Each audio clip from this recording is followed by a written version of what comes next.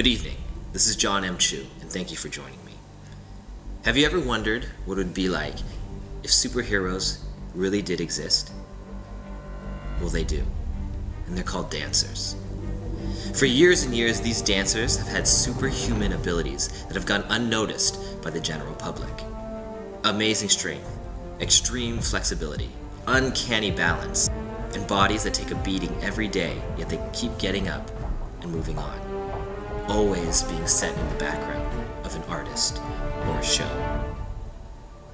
Well, times are changing. The uprising of the dance revolution is beginning, and heroes from around the world are taking a stand.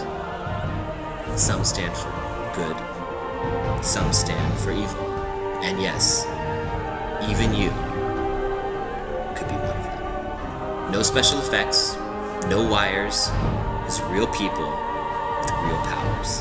This is not a reality show.